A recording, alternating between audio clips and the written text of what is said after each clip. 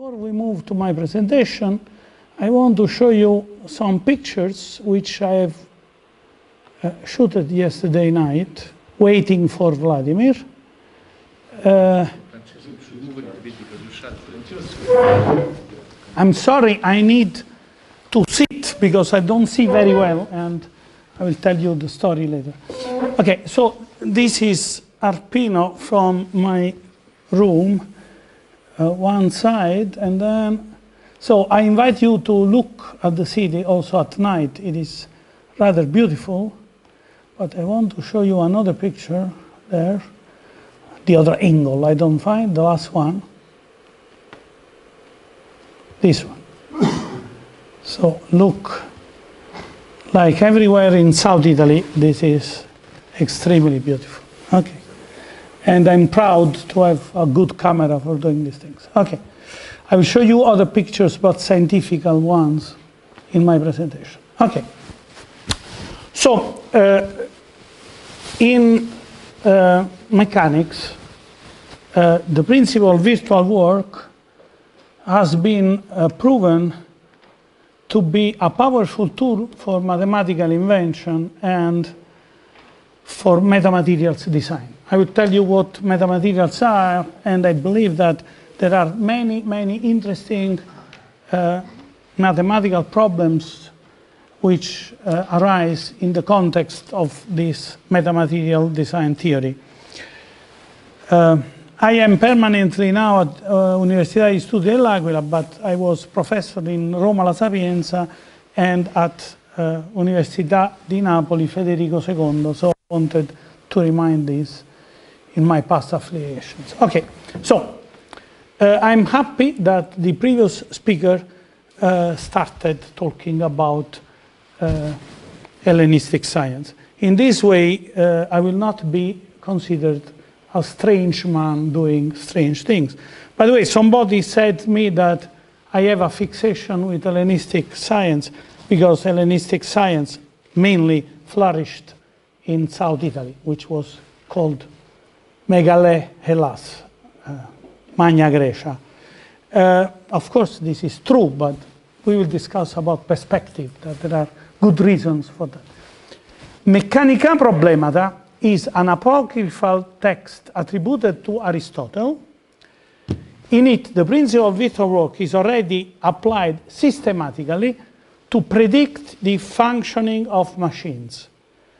The mathematical formalism on which it is based is the Euclidean geometry, and it is the most ancient example of the unifying capacities of mathematical abstractions in modeling of physical phenomena. The ideas in Mechanica Problemata via the Latin and Arabic translations are later transmitted to Lagrange and Piola. This is a typical um, parabola of the uh, uh, Hellenistic knowledge, which arrived to us via different uh, streams. One is the translation in Arabic language, which via Salamanca uh, in Spain under Islamic domination arrived in Europe. Others arrived when Venetians um, conquered Byzantium, took all books from there, and transported uh, them in Italy. This is the beginning of Renaissance. Um, but this long process, which I am investigating, but I will not talk about it here in detail, uh, I will, uh, I'm publishing some papers about it. This process of rediscovery of ancient Hellenistic science was completed by uh, Lagrange and D'Alembert and an Italian mathematician, Gabrio Piola, which by the way is from Pavia, so I have not fixation only with South Italian people. Gabrio Piola uh, was a uh, discover, rediscoverer of the principle of virtual work and invented modern continuum mechanics.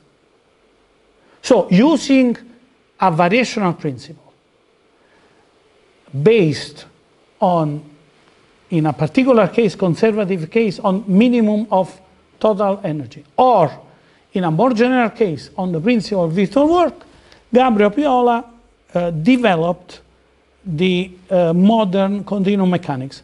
By the way, uh, Green wrote his papers in 1829. Piola wrote a paper in 1822. He introduced the so-called Green deformation tensor. Now, while Greek texts are lost, and one can discuss that maybe Ctesibius was not writing clearly, which I disagree, but we'll talk about that. Uh, Italian is a known language. I translated everything written by Piola into English because somebody in the United States told me that everything which is not written in English is not existing. Okay, I tell here because so every French would be very upset for that. Okay. So we can state that uh, the Mécanique analytique by Lagrange is the next most innovative treatise in the field after Mechanica Problemata. Remark that the work, word mechanics is a calque of the Greek word, word mechanica. Okay, remark that in the first version of Lagrange, mécanique is with ch. In Greek, you have chi, which sounds h. Okay, ch. So before in French you lost h, you needed the first edition of Lagrange book. This gives a strong indication of which was the original language used for writing mechanics. Okay? The theory that it presents has been considered to be controversial since its appearance in 1788. Do you know how I found uh, that Lagrange had already started the variational study of continuum mechanics? Because Piola tells at the beginning of his preface, in a note, I want to continue the work by Lagrange, which was stopped by his death. See the note, last note, in the last edition of Mécanique Analytique. It is a set of formulas written one after the others without words because the curator of the book was simply printing what he had found in the notes of Lagrange. Okay? Uh, now, we can say that the principle of virtual work is a kind of grand unification theory. Uh, in Mechanica Problemata, you have a list of different problems which had been studied in a different way with different techniques, and the order of Mechanica Problemata tells, now I show you how, with a unique principle, you can treat all of them systematically. Okay? Now, Mechanica Problemata is clearly a primary source for D'Alembert. Now, the version of D'Alembert is a system is in equilibrium when the total work done by all interactions involving the system is zero for each virtual displacement from equilibrium. Now, this statement puzzles a little bit uh, many engineers, but here we are full of mathematicians. So I can tell you that if the principle of minimum of energy holds, then the consequent stationary condition implies a particular form of the principle of virtual work. Think about it. How do you establish that something is minimum for an energy? You add a small variation of the candidate minimum and you calculate the first variation of the energy. So the virtual displacement is nothing else than a small variation of the value of the configuration in order to estimate the value of the energy, how you do it with a first variation. And then you understand, this is a standard argument, by the way, modernly established by Lagrange. It is a standard argument to say that if you are in a minimum, the first variation has to be zero. So giving the imagination, starting from this minimum principle, which is very intuitive, the equilibrium is at the bottom of an energy. We have seen the, how this in the previous lectures. So uh, it is natural if we want to generalize to non-conservative cases to say, okay, I have a work functional and this work functional is zero in the, in the equilibrium. Okay. By the way, in Mechanica Problemata, you have an exercise. Find the energy with a minimum of energy. Find an equilibrium with a minimum of energy. And then the subsequent exercise is find the minimum, the, the uh, equilibrium, with the principle of virtual work. So it is clear that the man writing it had this connection in mind. It is logically. You know, philologists have a big problem. They don't understand what they are writing, what they are translating. So I found that a Greek text, Mechanica Problemata, which of course I have excluded uh, from my consideration, translated into English, was using for translating iskos, which means force, with different words in different pages. So clearly this man does not know that in mathematics you use for the same concept always the same word. Okay, you, you don't say derivable function and then you change the name every page in your book. It is always a derivable function, okay? So we can say that the postulation based on the principle of virtual work is more general than that based on the energy minimum. Now, Lagrange writes this in a much more general way. I now read for you only bold. If a system is in equilibrium and if a small movement is imparted to this system, then the sum of the powers multiplied by the distance will be equal to zero. Why I'm not reading the other things? Because as Lagrange does not have vector calculus, is not introduce the inner product of a force with a virtual displacement or with a virtual velocity. So it has to describe with words what inner product means. Okay, but Lagrange statement can be reformulated even for founding continuum mechanics by using the abstract language of functional analysis and the theory of distribution, which I will try to do later. Now, uh, Thierry, who is the big leader of this meeting, told me you must talk simple things at the beginning and then go to more complicated technical things later, right? He told it to you also. Okay? And I'm following the orders. I denied. Yeah, okay. okay. So now, uh, th there is an important nominalistic issue. The word power as used by Lagrange means what we call force. Okay? Instead, he calls for um, mom moment what we call power. Okay? And why? If you read Mechanica Problemata, you understand.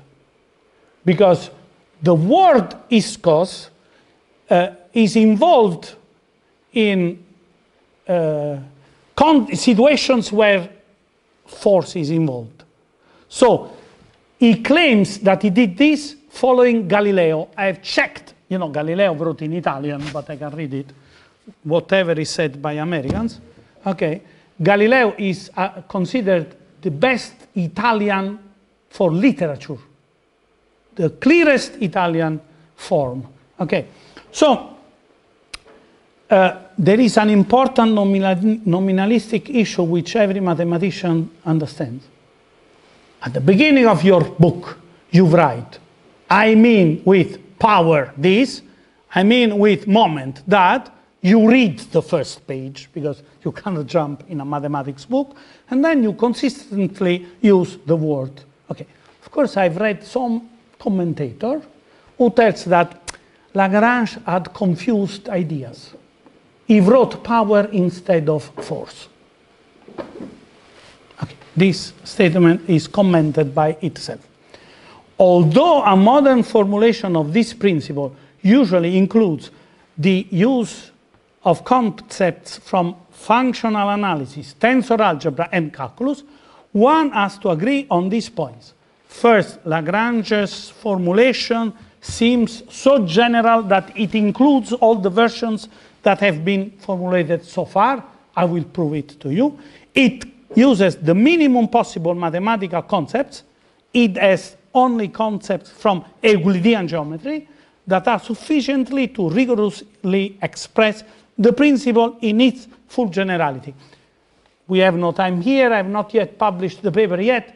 I believe, and I believe to have proved, that Lagrange was slowly recovering in his historical preface to mechanics the Archytas statement. Okay? Because he uses another one, more advanced, based on analytic geometry. Okay? Now, we have a problem. Uh, uh, modern people always want to say that ancient people are wrong. This is in the human nature. Uh, I'm becoming old, so now I'm on the side of old people. Okay, on the contrary, Truesdell states in 1968 that the Lagrangian mechanics would have a very limited scope. On the left, you can read what he wrote about uh, Lagrange.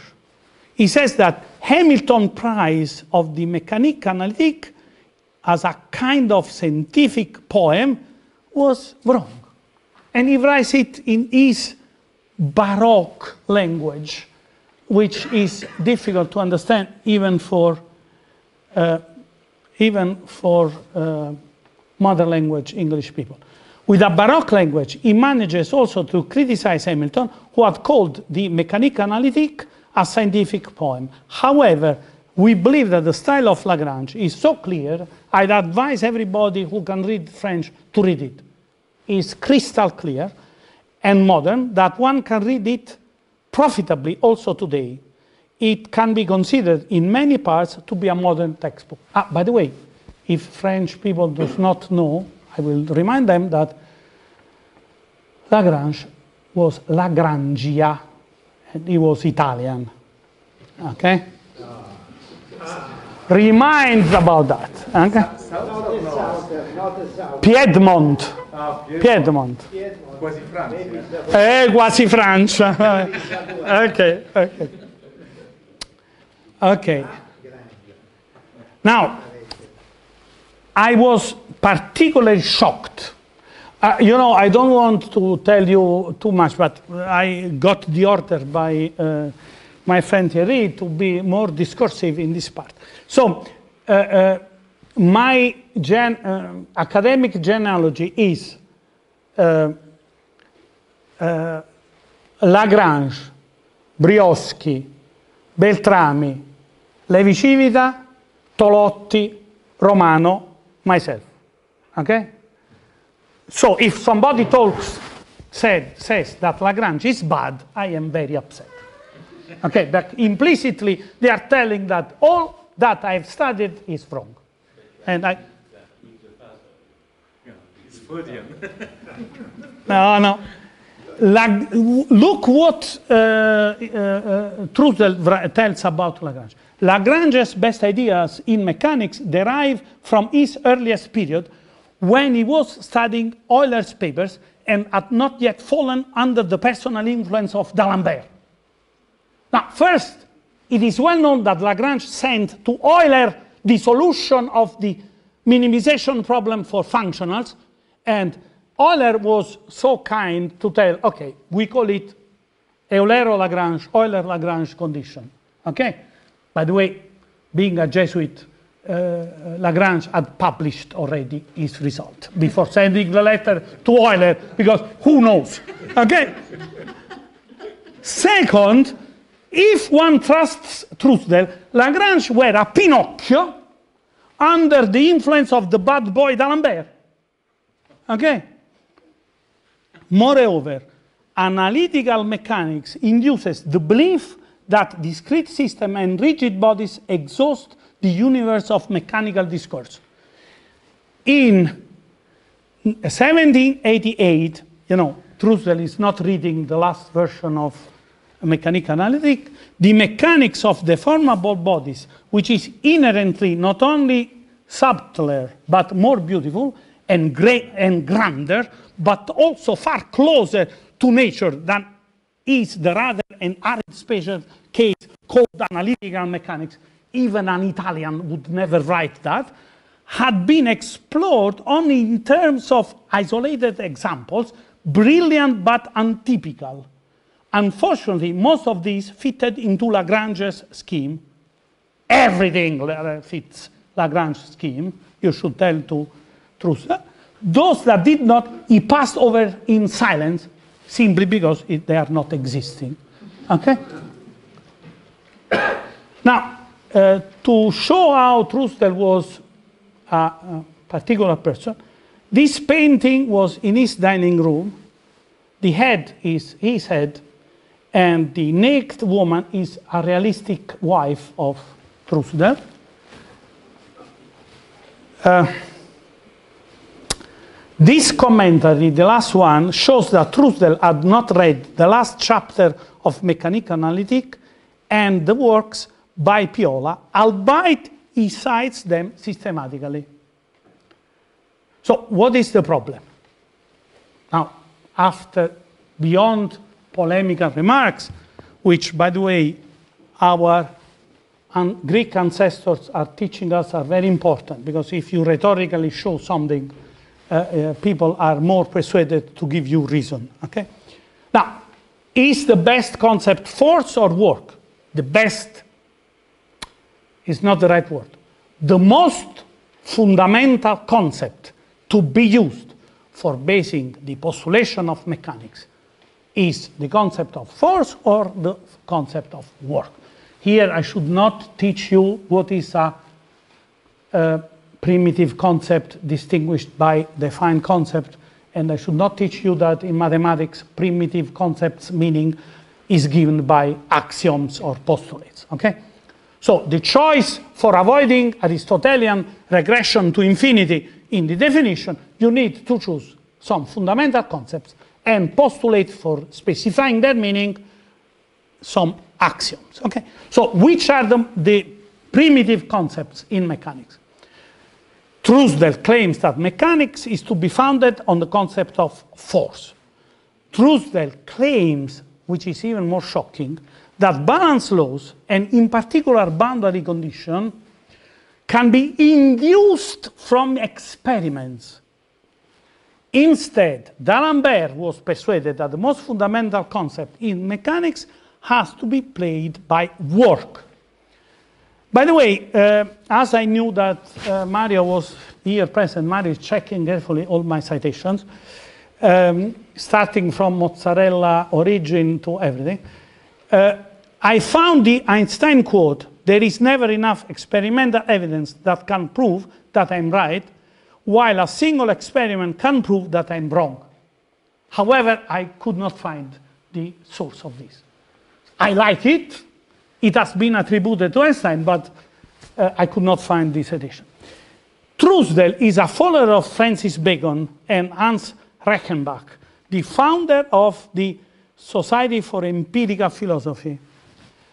Uh, we have no time here. This is a well-known mistake made by uh, Stoic school uh, uh in, in uh, late Hellenistic epoch, and this is absolutely uh, not suitable for describing epistemologically science.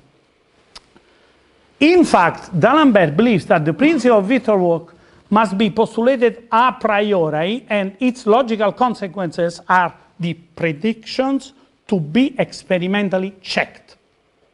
Nobody can prove the principle of virtual work experimentally. How can you consider every system, every possible functional, and every virtual displacement? This is clearly a conceptual structure which, following Euclid vision or Archimedean vision or Archytas vision, we accept, then we check experimentally our theorems, and if our theorems are not falsified, then we say, ah, this principle of work is a good tool. Okay, by the way, I studied this not only in the Italian school. Uh, you find Landau Lifshitz, the book, um, I think the third volume starts with Lagrangian mechanics and it writes this brilliantly. The force is a derived concept. I'm not telling it is useless. Used during the logical development of the theory, of course, very useful in many applications, but without any direct experimental counterpart. According to D'Alembert, the fundamental and unifying idea has to be found in the principle of virtual velocities, later renamed principle of virtual work. By the way, here you see the formulas written with his technique, but this is uh, Cartesian. He writes the components of forces, the components of virtual displacements, and he calculates the first variation of virtual work with this kind of formulas I, I want to show you. The forces inherent to bodies in motions, obscure and metaphysical entities which are only capable to spread shadows on a science that it is clear by itself. The poor D'Alembert was also fighting against his own Truesdell. You know, there is a theorem. For every scientific milieu, you find a Truesdellian, even before Truesdell. Okay? I must warn that in order to avoid circumlocutions, I have often made use of the obscure term of force, but I never pretended to attach to this term any other idea except those which result from the principles that I have established, either in this preface or in the first part of this treatise. So if we use the words of uh, D'Alembert, we are happy, we have understood how to solve the problem. Who was the true author of Mechanica Problemata? Of course, you can say, okay, you have a problem, you want to say that somebody from South Italy did it. The true reason is I want to understand if the first problems in mechanics were solved with balance of force or with balance or with the principle of virtual work. Because we do not know how to invent new theorems. We need to learn from our ancestors how they've solved the, for the first time a problem to try to repeat what they did. Okay. Archytas of Tarentum, by the way, he was cited many times by Archimedes. You know, Archimedes was a man very full of himself. Okay, as we will see. So if he cites Archytas, we should trust him. His other works are unfortunately all lost. He founded Mechanics on the Principle of Virtual Work, the Suda, the Encyclopedia of Hellenistic Science, tells that Archytas of Tarentum had founded mechanics on mathematical basis.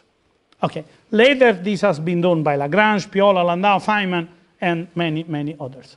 Okay. So Diogenes Laertius tells that Archytas was believed to be the founder of mathematical mechanics, and Luke Plato reproached Archytas for having contaminated geometry with mechanics. So again, this is an old, an old story. Okay, he became also a statesman. So why we are, are we so much interested in understanding how mechanics was first formulated? The answer is to get hints about invention methods of novel theories. Okay, now as we have some time, I want to read with you on the method by Archimedes. The translation is in Heath, the work of Archimedes. Uh, the story of this uh, palimpsest is very interesting. You see on the right the picture of the palimpsest. Vertical are the prayers written by a monk in Palestine for fighting against uh, uh, flu. Instead, horizontally, you see in transparency the written text by Archimedes. Okay, it starts like that. Archimedes to Eratosthenes, greetings. I send you on a former occasion some of the theorems discovered by me, merely writing out the enunciation and inviting you to discover the proof, which at the moment I did not give. You know, this man was challenging other people. The enunciation of the theorem which I sent were as follows. We jump these, I will give you hints about that. The proofs then of these theorems I have written in this book and now I send you. Seeing moreover in you, as I say, an earnest student, a man of considerable eminence in philosophy, and an admirer of mathematical inquiry, I thought fit to write out for you and explain in detail in the same book the peculiarity of a certain method by which it will be possible for you to get a start to enable to investigate some of the problems in mathematics by means of mechanics. This procedure is, I'm persuaded, no less useful even for the proof of the theorems themselves. For certain things first became clear to me by a mechanical method, although they had to be demonstrated by geometry afterward, because their investigation by the said method did not furnish an actual demonstration. So clearly Archimedes knows there is a difference between mathematics and the physical phenomena is describing. So if something is experimentally proven, this not, does not mean that you have proven it mathematically. But of course, it is easier when we have previously acquired by the method some knowledge of the question to supply the proof than it is to find it without any previous knowledge. Okay, so we jump about that. I am myself in the position of having first made the discovery of the theorem now to be published, and I deem it necessary to expand the method partly because I have already spoken of it, and I do not want to be thought to have uttered vain words, but equally because I am persuaded that it will be of no little service to mathematics. For I apprehend that some, either of my contemporaries or of my successors, we are his successors, will be my means of the method when once established, be able to discover other theorems in addition, which have not yet occurred to me.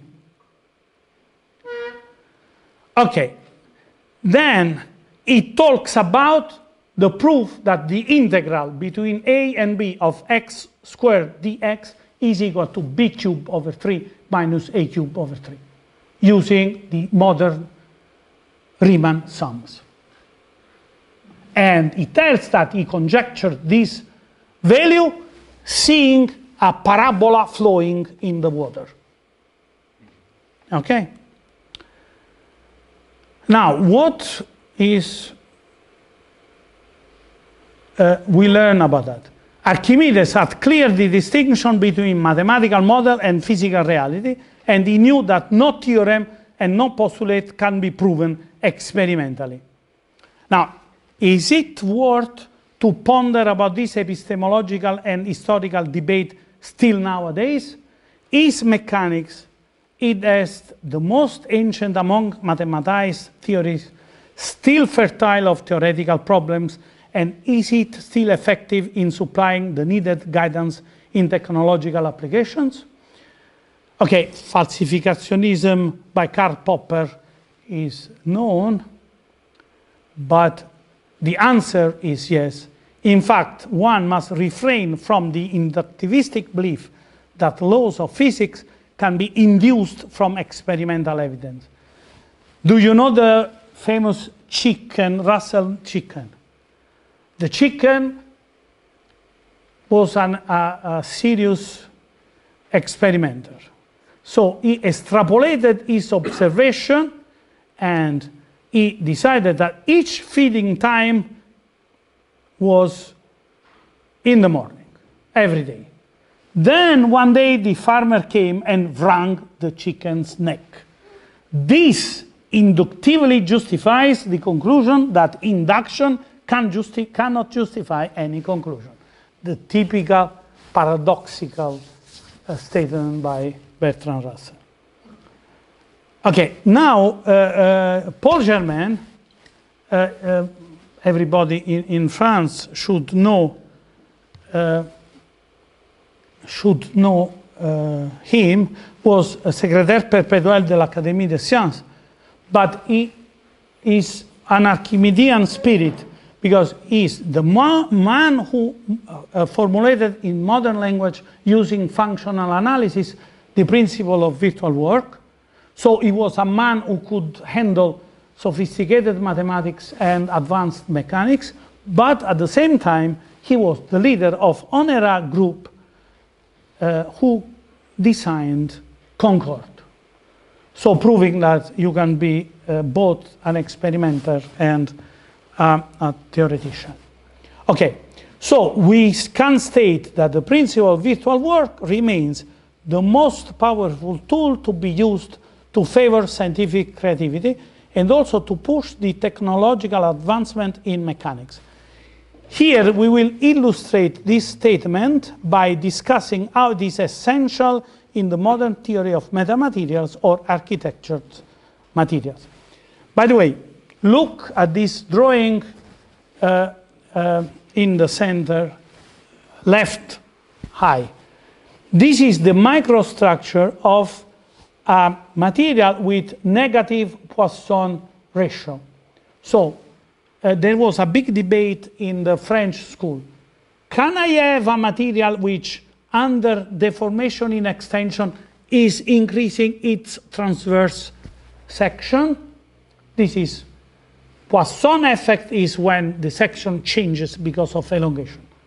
There are auxetic materials which are not changing the section.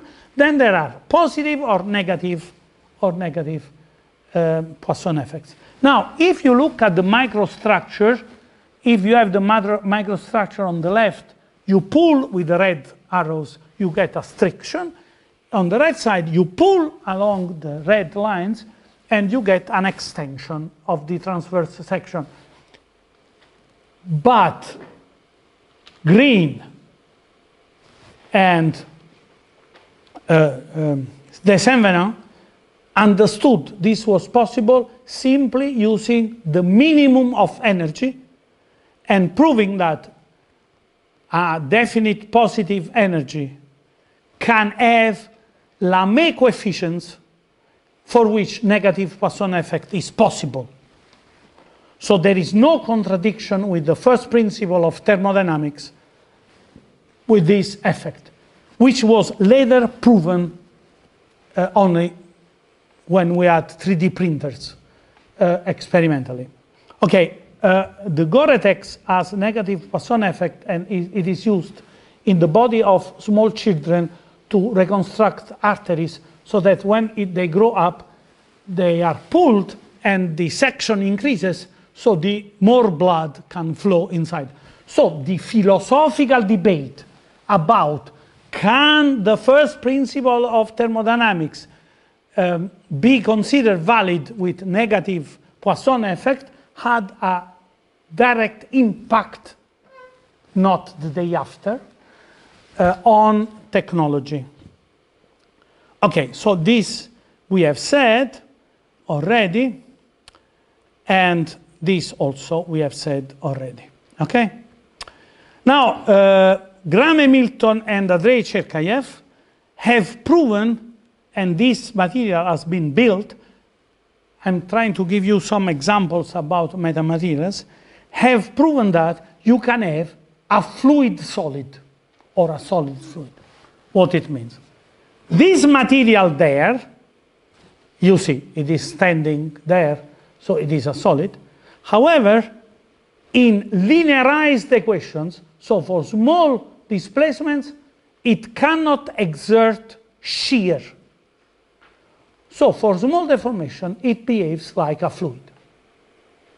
Okay, and they invented this, they published in 1995 before somebody could print it and prove experimentally So I want to conclude this first part of my presentation talking about the fundamental problems problem in metamaterial synthesis, which is a serious problem which needs strong mathematics. And I hope that somebody in the audience will be able to help me in, in this. You know, many years ago, I made, uh, I had a delirium of omnipotence. When I got my tenure, I said, okay, in the, five, in the next five years, I will do this, this, and that. I made a book writing that. Unfortunately, it is now 30 years, and I've done only one half of it. okay, so it is clear that I need to persuade somebody young that these things have to be continued. Now, the fundamental problem in the theory of metamaterials consists in the synthesis of materials having some specific physical properties. Now, when talking with a friend of mine, Anil Misra, uh, I, first of all, I never managed to pronounce, I will do it only one time. I will never manage to pronounce paradigm. Uh, you know, it is a Greek word. Paradigm. Okay, so paradigm is really uh, uh, crazy. I don't know how Americans can manage to do this. So, paradigm shift is a very frequent uh, uh, expression used in, in science. Up to now, what are we doing? We have a physical object, and we look for the model for describing it. Okay. Now, think about the problem of synthesizing a material having some specific physical properties. How do you tell to your mathematics what is a specific physical property? Okay? And here the principle of virtual work plays a role. You postulate a work functional. So, instead of having a physical system and then you look for the work functional suitable for describing it, you change your, your, viewpoint, you decide, I want a system which is governed by this work functional. And this is a paradigm change in the concept of um, in, in the theory of metamaterials imposed by the theory of metamaterials uh, design.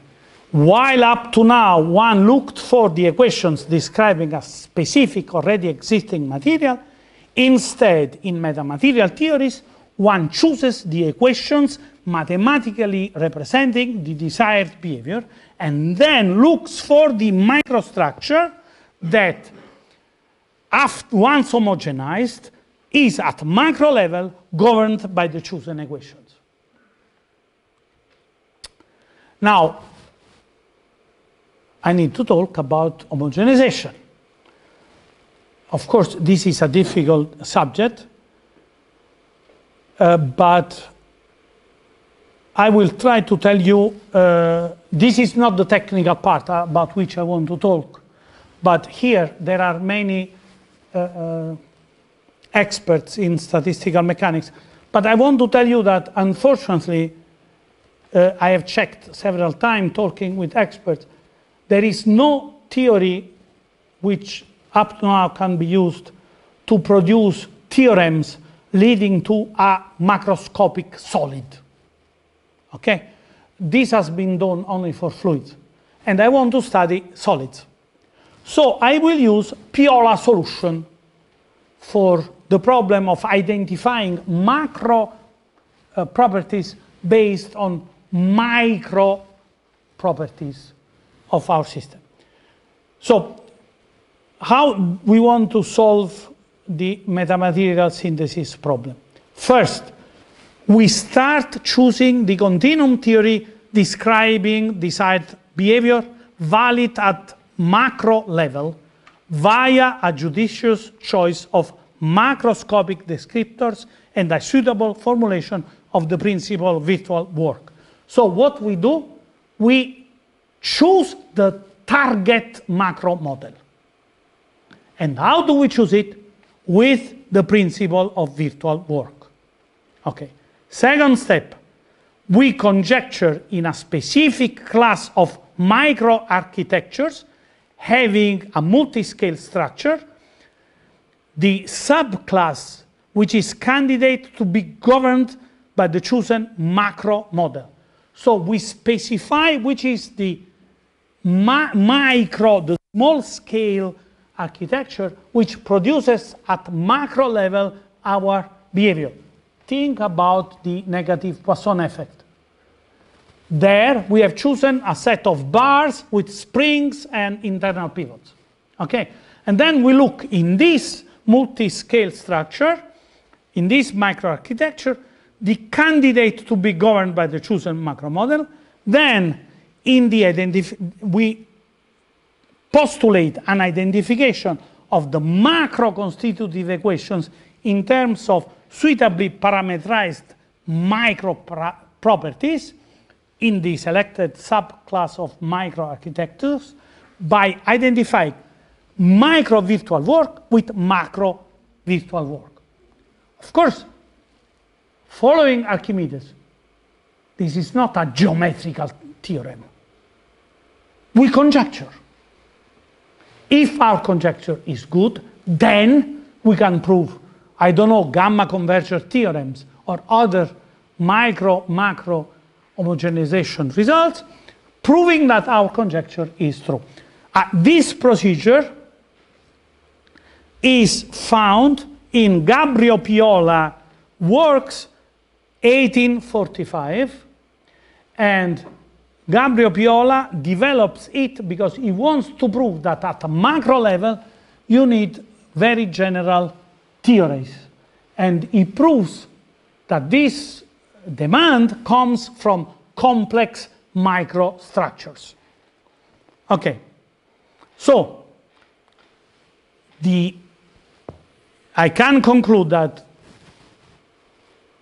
uh, the micro macro identification process becomes very difficult if one uses models based on balance of forces and balance of moment of forces. Because balance of force and balance of moment of forces at micro level do not correspond directly to balance of forces and balance of moments at macro level. Okay? Therefore, the conclusions of the epistemological debate give us a powerful tool for conceiving and producing new real-world materials. Okay, I I started a few minutes later, so I show you, I conclude this concept, then I stop. Now, uh, wrote a book about continuum mechanics in which he introduces many kinematical descriptors, so not only placement, but also micro rotation, micro deformations. He increases the richness of the kinematics at macro level. Unfortunately, he is a follower of Truesdell. So what he's doing? He postulates ad hoc for every kinematic descriptor a new balance law. So he needs to increase the number of post postulates.